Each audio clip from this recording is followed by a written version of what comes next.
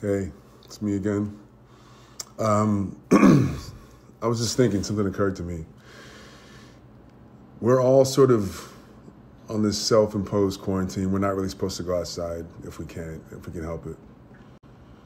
And that got me thinking that that might be analogous to what's going on with all of us. Maybe we should look at this as, as an opportunity to go inside of ourselves as well maybe it's time to finish that book or those books that you wanted to read or write. Maybe it's time to start figuring out um, relationships with yourself that you haven't delved into and you haven't healed. Maybe it's time for you to look at childhood trauma. Maybe it's time for you to start meditating or breath work or whatever you want to try for your spirit that you've been putting off. Maybe we should look at the fact that we have been living guided by these old ideas that we haven't really explored in a long time in our, in our culture, in our society.